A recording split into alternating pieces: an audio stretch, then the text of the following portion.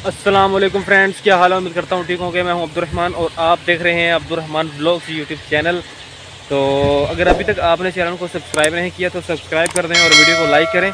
जी तो फ्रेंड्स इस वक्त मैं मौजूद हूँ अपने मोहल्ले के अंदर, आप देख सकते हैं। और दूसरे मोहल्ले में आई हुई है आइसक्रीम मशीन, यानी कि आइसक्रीम मशीन वाला आया हुआ है। और उसकी आइसक्रीम का विज़िट करते हैं और देखते हैं कि कितना प्रॉफिट वो कमा रहा है।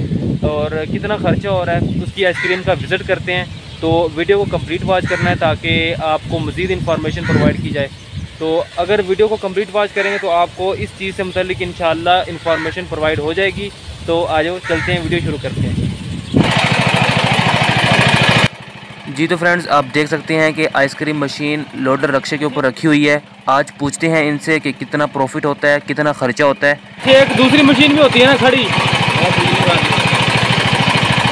ये बारे में है ना? चार हज़ार का खर्चा है।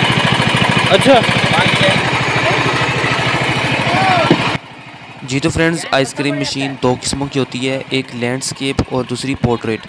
और जो मशीन टेबल वगैरह के ऊपर रखी जाती है वो आपके सामने है ठीक है? और ये जनरेटर पर चलती है और इसके साथ साथ दूसरी मशीन खड़ी होती है जो बाज़ार वगैरह में पड़ी और भाई साहब बता रहे हैं कि चार हज़ार से पैंतालीस सौ इसका डेली का ख़र्चा है।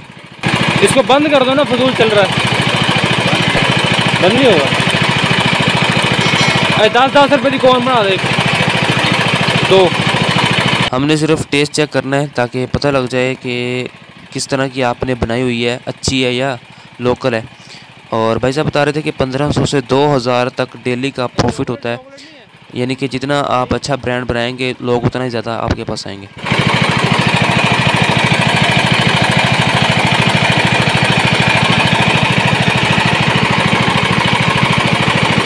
फ्लेवर तो जाते फ्लेवर जितनी मेहनत होएगी उतना महँगा होएगा ना। फ्लेवर तो यार मज़ा नहीं आया लोकल है, अच्छी नहीं है इतनी। जी तो फ्रेंड्स आपको मैं एक ख़ासियत बताऊँ, इसकी ये मशीन जनरेटर पर चल रही है, और जनरेटर चल रहा है सिलेंडर पर। जी हाँ दोस्तों, आपने पहली दफ़ा देखा होगा जनरेटर गैस के ऊपर चल रहा है, और इस जनरेटर ने मशीन को चलाया हुआ है, देख।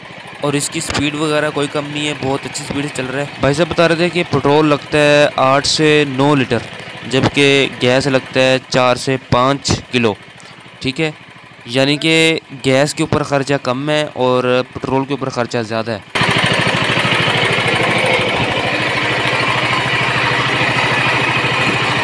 मोटर भी आया है ना? मोटर नहीं। आए नहीं मोटर नहीं चला रहे। यदि उस्ताद पुलियाँ चेक कर किन्नियाँ ने पुलियाँ देख। दो दो पुलियाँ ने एक बेल्ट यानी कि एक चक्कर वास्ते। ਤੇ ਪੁੱਲੀਆਂ ਮੋਟਰ ਦੀ ਲਦਾ ਲਾਈ ਹੋਈ ਹੈ ਭਾਈ ਨੇ ਫਿਰ ਬਾਅਦ ਜਨਰੇਟਰ ਲਾਇਆ ਹੋਣਾ ਹੈ ਹੁਣ ਦੱਸ ਉਹ ਮੋਟਰ ਪਈ ਹੈ ਨਾ ਹਾਂ ਹਾਂ ਜਦੋਂ ਇਹ ਮੋਟਰ ਚਲਾਵਾਂਗੇ ਇਹ ਬੈਲਟ ਲਾ ਦਾਂਗੇ ਜਨਰੇਟਰ ਵਾਲਾ ਬੈਲਟ ਜਰਾ ਆ ਰਿਹਾ ਨਾ ਹਾਂ ਹਾਂ ਇਹਨੂੰ ਲਾ ਦਾਂਗੇ ਮੋਟਰ ਤੇ ਬੈਲਟ ਹੋਏਗਾ ਉਹ ਚਾੜ ਦਾਂਗੇ ਠੀਕ ਹੋ ਗਿਆ ਹਾਂ ਹਾਂ ਮੋਟਰ ਤੇ ਚਲਾ ਦਾਂਗੇ ਜਦੋਂ ਲਾਈਟ ਜਾਊਗੀ ਇਹਨਾਂ ਬੈਲਟ ਉਤਾਰ ਦਾਂਗੇ ਮੋਟਰ ਦਾ ਜਨਰੇਟਰ ਦਾ ਬੈਲਟ ਚਾੜ ਕੇ ਨਾ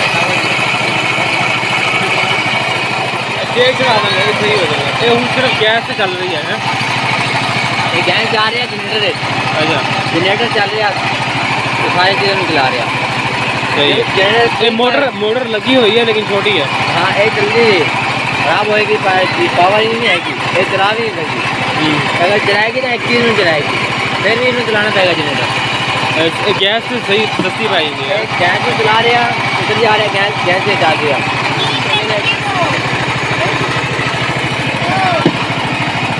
गैस सस्ता पड़ जाता है। ये नहीं। तेल से। ज़्यादा एवरेज देता है। और लेट से। बिजली से भी सही है। आप चलाए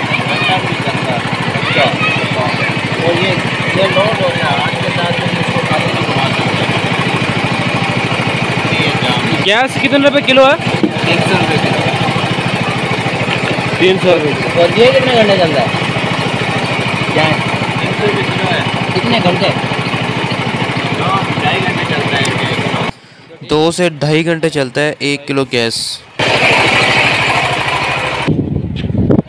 जी जी तो फ्रेंड्स उम्मीद करता हूँ कि आपको मेरी ये वीडियो अच्छी लगी होगी और मशीन के बारे में आपको इन्फॉर्मेशन भी अच्छी लगी होगी यानी कि जो ख, जो दूसरी लंबी मशीन होती है लैंड लैंडस्केप होती है ठीक है उसके ऊपर ख़र्चा ज़्यादा होता है बिजली का खर्चा ज़्यादा होता है उसकी मोटर अलग चल, चल, चलती है और उसका जो कंप्रेसर होता है वो अलग चलता है ठीक है तो उसका इलेक्ट्रिक का बिजली का बिल बहुत ज़्यादा आता है।